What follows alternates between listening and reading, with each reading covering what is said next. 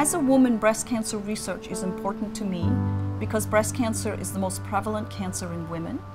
I have many friends who have breast cancer, and even though we understand much more about breast cancer treatment, women still die from this disease. Well, I think I got into breast cancer research mainly because of the patients. I mean, the fact is, you know, we see a lot of young women with breast cancer, um, 25 years old. It's not, know, every clinic there'll be somebody like that.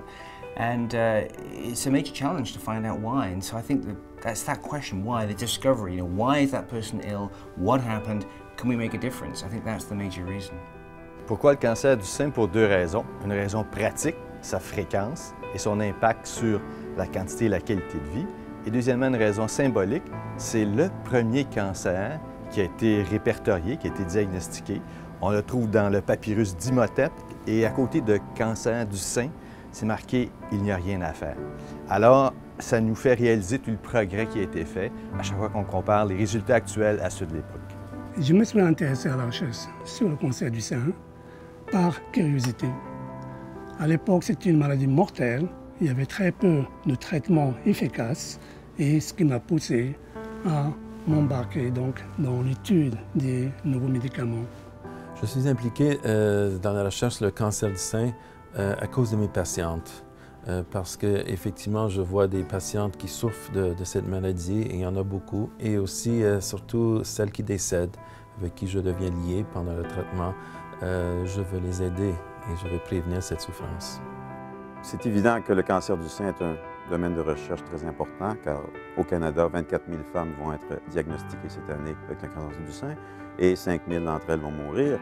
Euh, mais en parallèle, on a vu une opportunité pour nous, le laboratoire de Jean-Yves Masson et le mien, de joindre nos efforts, car les domaines respectifs de nos spécialités ont un potentiel très fort en découverte scientifique pour l'application au cancer du sein.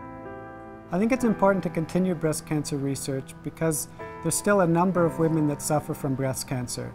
The number of deaths has been decreasing, but the number, the incidence of breast cancer has been increasing around the world. So I think there's still a lot of research to be done on, on understanding how breast cancer initiates and progresses.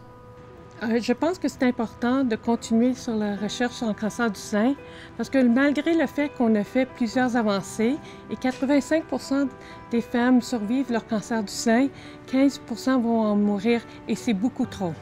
If I could send a message to the donors, I would say thank you for your generosity and for your hard work. Uh, you know, I'd like for you to know that we're all in this together as a team and we're really working together and I think we're making huge accomplishments. Uh, in my lab in particular, because of funding from the QBCF, right now we're involved in a drug development program that never, ever uh, would have taken place if, if it weren't for the, the generous contributions of the QBCF.